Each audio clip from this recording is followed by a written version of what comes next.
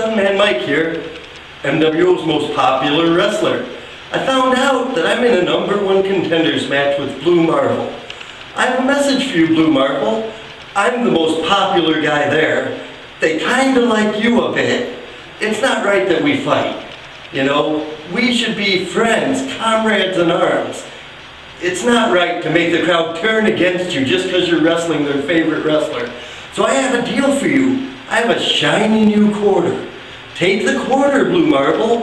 Take the quarter and just don't come. Don't come and don't wrestle me. It'll save us all a lot of trouble and the fans will still love you. Take it from me because I'm honest and I'm full of integrity, unlike those other guys that might tell you to fight me. So just take the quarter here and don't show up. Thank you.